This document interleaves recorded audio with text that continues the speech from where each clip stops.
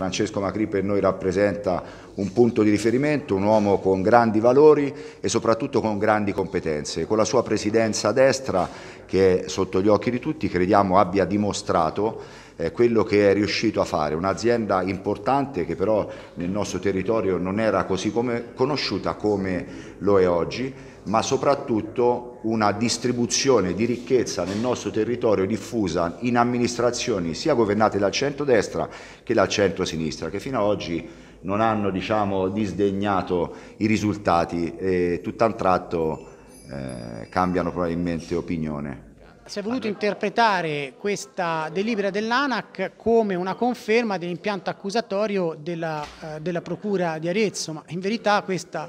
delibera dell'ANAC delle due la sconfessa in toto perché riporta la questione dal punto di vista eh, tecnico-giuridico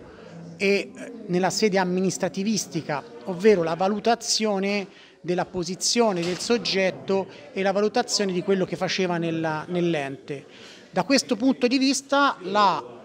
ANAC chiarisce che la prima nomina di Francesco Macri era assolutamente valida perché pur essendo lui un, ex consigliere comunale non aveva nessun tipo di, di capacità e potere gestorio nella sua figura di presidente.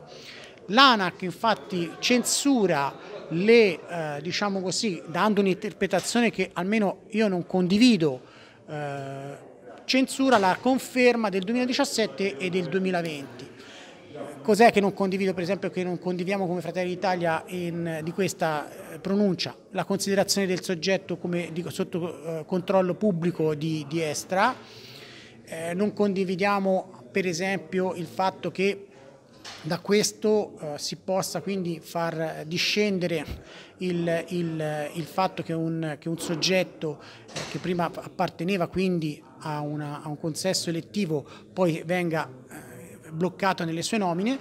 Chiaramente il, il commento del PD appare un commento fatto frettolosamente sulla prima notizia apparsa senza assolutamente leggere il provvedimento, come altrettanto è parso il commento di un eh, un esponente diciamo così di centrodestra che ha espresso pur essendo un soggetto eh, qualificato dal punto di vista giuridico ma anch'esso pare aver eh, diciamo così espresso una valutazione improvvida e frettolosa